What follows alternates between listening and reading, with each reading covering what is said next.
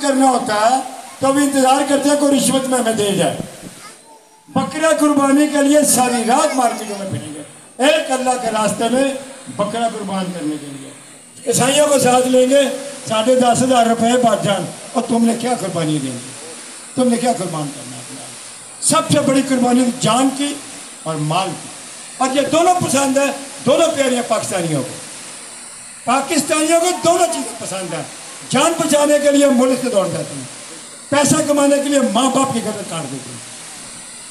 یہ وطن، یہ پیارا وطن، یہ میرا نہیں ہے۔ میں نے کل بھی ایک ٹی وی پروگرام میں بیٹھا تھا۔ تو وہاں لوگ اٹھ کے رو پڑے، مجھے ماتھا جمعہ میرا میرے پاس ایک مٹی کا باکس ہے جرمنی میں۔ بیس سال پرانا اور وہ مٹی میرے گھر کی شاید میں نہیں کہتا کہ میرے سے بڑا کوئی میرے وطن ہوگا۔ بڑے ہیں سب ہی ہیں، آپ ہی ہیں۔ میرے سے بڑھ کے سب، مگر میرے جیسا کوئی نہیں۔ الحمدللہ۔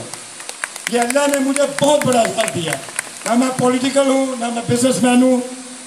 میں ایک انسان ہوں، اس کے بعد میں ایک پیور پاکستانی ہوں۔